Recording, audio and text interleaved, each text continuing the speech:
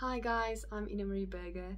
I am from South Africa and I'm also currently living in South Africa, um, Koster Northwest. It's a small farm town and not a lot of people know about it. And yeah lots of farmers lots of animals. I love animals. I have lots of horses and dogs.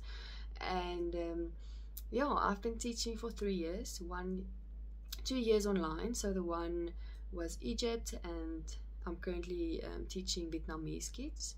Um, it's mostly grade 1 to 7. I have experience um, teaching one on one and also groups, a little bit of adults, and yeah, I'm a learning and teaching coach, and I love seeing how people progress their English and just build relationships with them. And yeah, it's very heartwarming to see how people progress and getting better.